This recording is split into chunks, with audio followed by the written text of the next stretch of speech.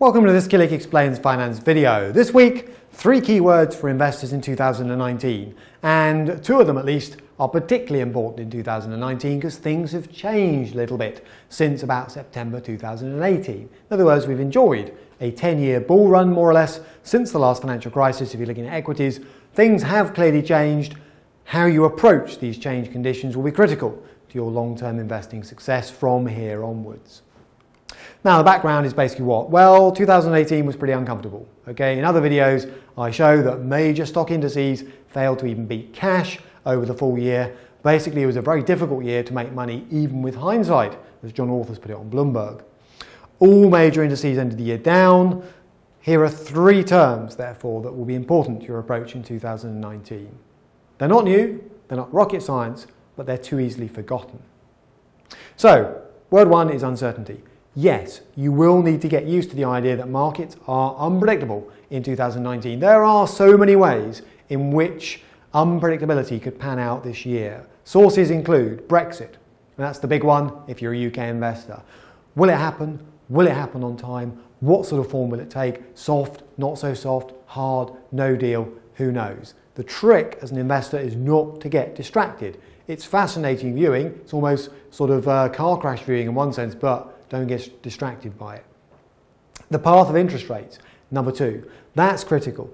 Behind all the political shenanigans in the UK, the path of interest rates, the Bank of England's policy on interest rates, the European Central Bank, and above all, the Federal Reserve. Vital. How far, how fast will rates be lifted? Keep an eye on inflation data. Don't be overly distracted by the politics. And the end or reversal of QE. This is going on behind the scenes. The Americans have started it ahead of everybody else, if you like. This is reversing the program of printing money as it was known QE, bond buying, putting the lever back, reversing that out, the speed and the way it's done will have an impact on asset prices as we go through the year. Then Trump and the trade war. That's not helping. So Donald Trump seems intent on pursuing this trade war with China. How wide it goes, how long it lasts, clearly influencing stock prices and confidence. Emerging markets, including China, separate to anything Donald Trump's up to, we've seen evidence of some slowing in the market in China, property markets and so on. So that, given it's the world's biggest emerging market and one of its fastest growing emerging markets, that's pretty key by itself. And finally, leaving Brexit to one side, European discord and economic divergence.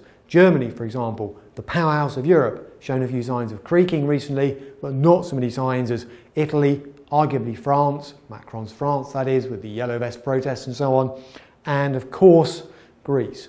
So Watch out for signs that the European economy is creaking separate to any decision about Brexit that may be reached by the EU and the UK.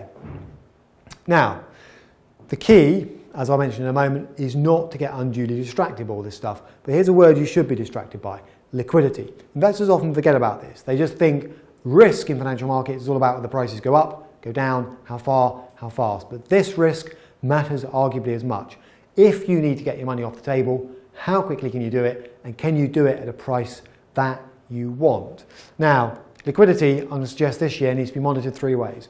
Individuals need to make sure, as I'll stress at the end, that they're not forced into selling shares, for example, because they simply haven't planned. They simply haven't mapped out their rainy day funds, their foreseeable calls on capital, and so on. Companies, watch out if you're an investor.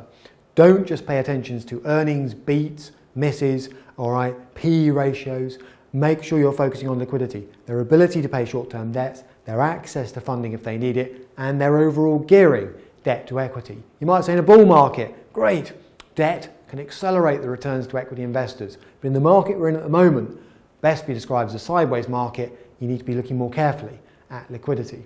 And finally, funds.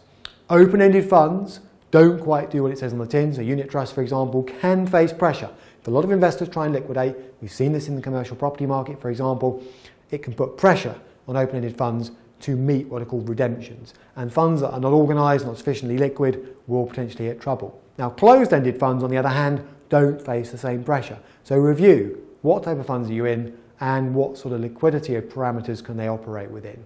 So liquidity, not a very exciting word, but I think a word that's going to be important to individuals, you and me, companies in terms of the way you look at them, and funds too. Now the third word, if you think this is all a bit depressing, the third word is opportunity. Now, it takes a little bit of steel to recognise this, but here's the point. When food gets cheaper, you don't buy less of it. That was Warren Buffett. Point being, investors are prone to think when prices fall, it's all bad news. But over the long term, surely there has to be some opportunity here if you know what you're looking for, because you are getting a chance to add the building blocks of a portfolio cheaper than you could six months ago. So how are we going to take advantage of this? Well, first of all, by recognising it for what it is. The yield on the FTSE All Share, that's the broad index UK shares, around 5% at the start of the year. Well, there's a fairly generous income incentive for a start, and compared to the so-called risk-free bond yield, equities do look reasonable value, especially in certain pockets, as I make this video in January 2019. But it takes a bit of confidence see that. Sizable corrections are common. So people who don't remember back before the last financial crisis, for example, might be thinking, well, no, they're not. But actually, 10% corrections, 10% or more, are pretty common. They're part and parcel of equity investing. They're not something to be avoided, ducked, uh, or even feared. They're just something to be accepted and managed. And people who haven't invested for long, who've come into the market recently, won't be familiar with them, and that could potentially lead them to make some mistakes. Shakeouts usually generate bargains. Now you might think, hang on a minute, I've taken all this trouble to diversify my equity portfolio and the whole thing's dropped. That's called systemic risk. Yes, but when the market marks everything down together across the board, then you get opportunities, if you know what you're looking for, to pick up bargains, to pick up good names for a lot less than you would have paid for them six months ago. Now, it takes a certain perspective to see that, but it's a really important mindset to have, not gloom and doom across the board. So, be safe, but not sorry. Bit of a cliche, what do I mean by that? Well, basically, never panic sell. So do not read media headlines every five minutes. Don't look on, on, on, your iPhone, for example. Never panic sell. One of the problems with apps is they do allow you to dump everything really quickly, push of a button. That's precisely what you shouldn't be doing. Number two, avoid force selling. Now, this is not about apps being great. This is about planning. This is about having that rainy day fund, identifying those foreseeable calls on capital that you'll need to fund in the near future, and then allocating the rest to a long-term equity basket, let's say. So that planning is more important than ever. Make sure you are reviewing imminent foreseeable calls on capital and positioning your funds accordingly. Thirdly, pound cost average. If you are worried about getting into the market right now, don't go in with a lump sum. Drip feed your way in. Be sensible about it because that'll mean that you're taking advantage of these dips. I mean, pound cost averages, they get it right, almost automatically buy on some of the dips, if you like, and that over the long term pays back dividends, as I point out in other videos. Prepare rather than predict. Nobody knows exactly where stock markets will end up at the end of 2019. No one has that crystal ball. All right, but preparation is key. So, yes, this year it's a fair assumption will probably be more uncertain and more volatile than previous years. That's just the law of averages. That happens in stock markets from time to time. That will terrify short term gamblers and will push many hedge funds to the wall, potentially. You might say, well, so what? Okay. If you are terrified by short-term corrections in the stock market, you probably shouldn't be in the stock market in the first place. Rational long-term investors will be much more sanguine. All right, they'll stick to their plan, they'll spot opportunities to pick up bargains, they'll adjust the way they enter the market, pound cost averaging and so on, and carry on.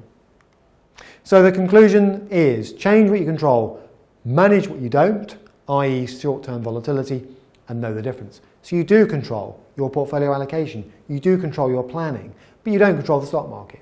Accept that. Manage it. So, what do I mean by that? Plan. Get your financial plan in place. Ideally, you do this on a regular basis anyway. So you're thinking, well, I already do that. I already reviewed it six months ago. I'm already well positioned. But that's crucial. Number two, diversify. The old investing cliche, but it is important. Diversify across asset classes, diversify internationally, diversify across different sectors. Okay, make sure you are not overly committed to one type of asset or asset class. Thirdly, discuss. Bear markets and markets that are volatile can be scary. It's, it's, worrying when a portfolio goes down to 10%. So discuss, discuss with family members, discuss with an advisor. But whatever you do, make sure you have a conversation with somebody before you just hit the red button going, well, I'm out. Because then you've got to worry about how much it's going to cost you to get out, how much tax you might be paying, capital gains tax and so on, and when on earth do you get back in again? Lots of ground covered, three key messages, editor at killik.com with queries, and to watch videos on some of the things I mentioned, pound cost averaging, for example, tax, if that's a key concern to you, then killik.com forward slash learn and click on the tabs on the left hand side.